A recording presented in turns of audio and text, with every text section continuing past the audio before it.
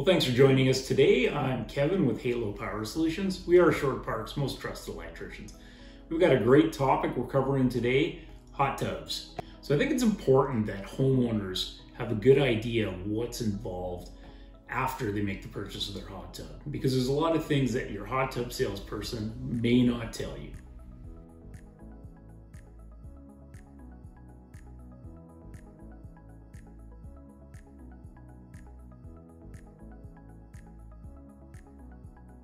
We get asked a lot, do I need a permit for my hot tub? And the answer is absolutely yes. You actually need two permits.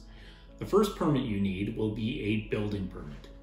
I'm going to put the links uh, in the comments below so you can actually see what's involved for you as a homeowner to get the permits. Um, this will be if you live in an Edmonton area, Sherwood Park, or Fort Saskatchewan. So just check the comments below, you'll see the links.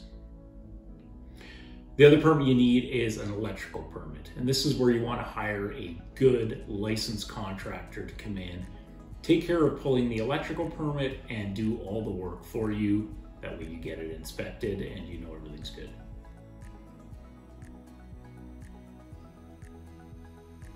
So when you're applying for the building permit, and that's something you need to do as the homeowner, um, there's some information you're going to have to provide because the municipality needs to know that you're putting the hot tub in a proper location. So a few things they're gonna be looking for is the location in regards to the property line because your hot tub needs to be a minimum of one meter away from your property line.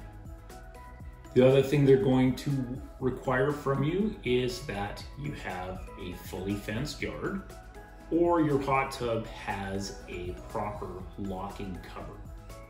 This is important because you don't want a you know a small kid wandering into your yard and seeing your tub and potentially drowning. It's a horrible thought, but uh, that's why these uh, these rules are in place. Another important uh, consideration when you're placing your hot tub is the uh, utility lines coming into your yard. You can't put your hot tub over top of a utility right away, so it's important that you know where the lines are running before you get your hot tub put in place. Well, let's say you want to install your hot tub on your deck. You may have to supply the municipality with a stamped engineer drawing saying that your deck will support the weight of that hot tub. You can imagine that tub filled with water could be 5,000 pounds of weight there. So this is really important. So let's talk about the location of your hot tub and the existing electrical in your yard. We see this all the time where hot tubs have been put in place. There were never any permits or inspections done, and the hot tub is two or three feet away from the electrical meter.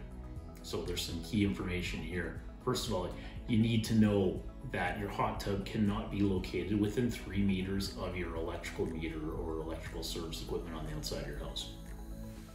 Another thing you need to know is that your hot tub cannot be located within 1.5 meters of your outside GFCI plug on your house. Again, these are things that we see all the time when uh, homeowners go ahead and just purchase a hot tub and get uh, some Kijiji electrician to hook it up. No permits, no inspections, big problems down the line, especially when you go to sell your house.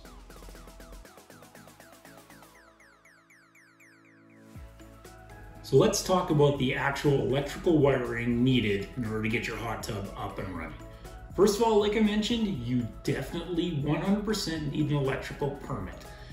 The electrical permit is pulled by your certified electrical contractor. So remember, you the homeowner, you take care of the building permit.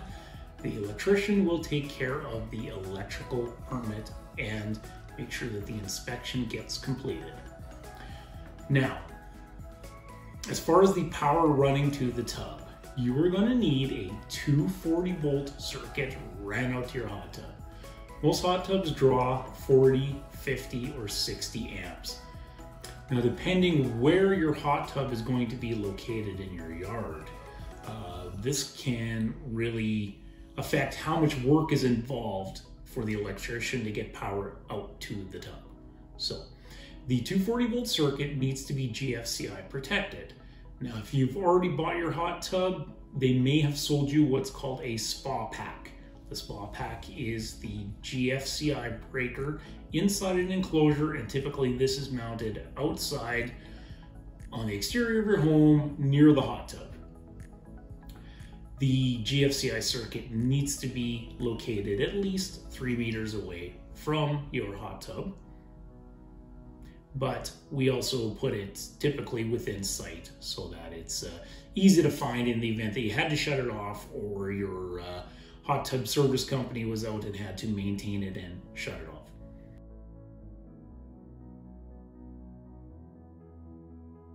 Costs of running electricity to your hot tub. It's not cheap. Uh, you can expect to pay about $1,500 that's a typical price, including the electrical permit, to get power ran out to your hot tub.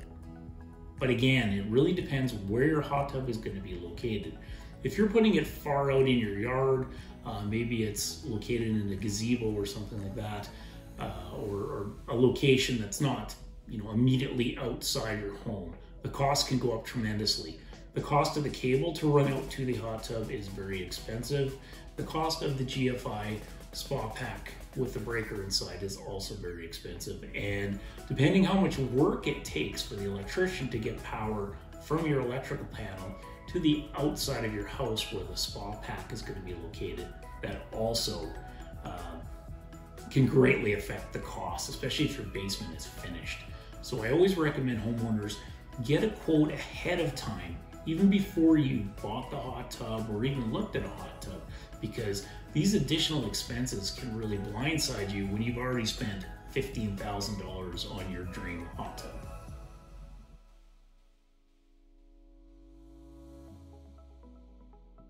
Before you buy your hot tub, there's one other thing you need to be aware of.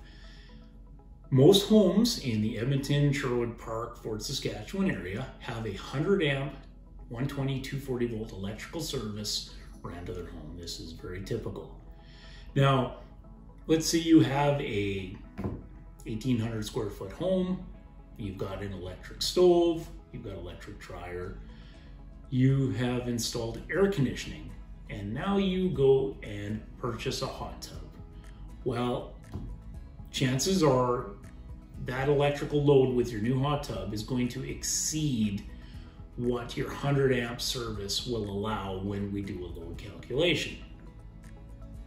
This has really become an issue uh, when homeowners already purchase the tub and then realize that their electrical service is not large enough to accommodate the load of the tub, the air conditioning, the stove in their home, the dryer, and any other uh, any other loads in the house.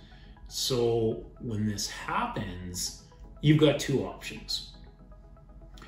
You can do a service upgrade to your home, and depending on what area you're in and whether you have an overhead or an underground uh, utility line running to your house, uh, this can become extremely expensive.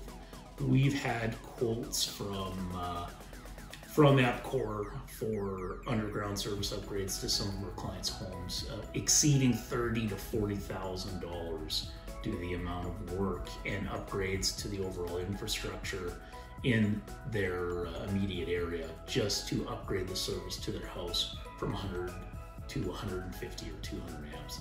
So, uh, huge consideration there. The electrical inspector, if he inspects the installation and suspects that with the hot tub in place, it's going to exceed the 100 amp capacity of your 100 amp service, he's going to ask your electrician to provide a load calculation. We do these load calculations all the time. It's a very simple mathematical uh, worksheet we fill out. And uh, in, in my experience, as soon as you have air conditioning and a and a hot tub, you're typically over your 100 amp service, unless you have a gas stove and a gas dryer. That, that's uh, that is one consideration. So, what do you do? Well, the service upgrade is one option, very expensive. The second option, solution that we are uh, we're doing more and more for our clients is putting in an energy management system. And there's a few different models on the market that uh, that are available, but typically these energy management systems monitor the amount of electricity that is being drawn uh, overall on your main service. And if it detects that the, uh, the overall load, electrical load on your service is too high, it will shut off your hot tub automatically for a set amount of time, usually about half an hour, until uh, you know the other uh, other devices in your home that you're using start to uh, power down. Maybe you're maybe you're doing laundry, the air conditioning's on, and uh, you're running the stove, cooking a turkey, and the hot tub starts heating. That that may be a situation where it gets close to the uh, max uh, max allowable ampacity your service will uh, will allow. So the energy management systems, we're putting more and more of them in, and uh, they are uh, they are code compliant, so it's a good solution. Um, so you can expect that if you were getting your hot tub wired in and you require an energy management system as well, uh, you know you need to budget at least, at the very least, twenty five hundred dollars to three thousand dollars for that setup. So another consideration, another cost you may not be aware of when you uh, when you sign on the line for that new hot tub.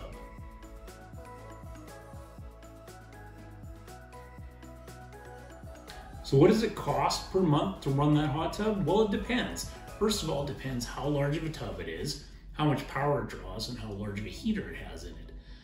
Other factors are how, how well built the hot tub is. It's, it's kind of like your home. If you have a well-built, insulated home, in the wintertime, that house is going to be more uh, efficient, hold the heat better. A well-built hot tub with a good quality insulated cover is going to hold the heat better and uh, the heater's not going to have to cycle on and on and off as much to uh, to keep the tub hot. But if you're using it all the time, you got the cover open, that heater is going to be heating probably constantly, especially when it's really cold outside, because you're going to try and keep that water uh, nice and comfortable.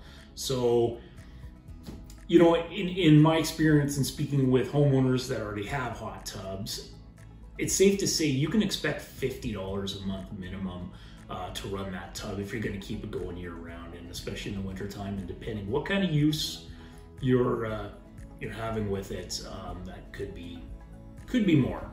So things to consider ahead of time. So I hope this information has been helpful to you, especially if you are considering purchasing a hot tub.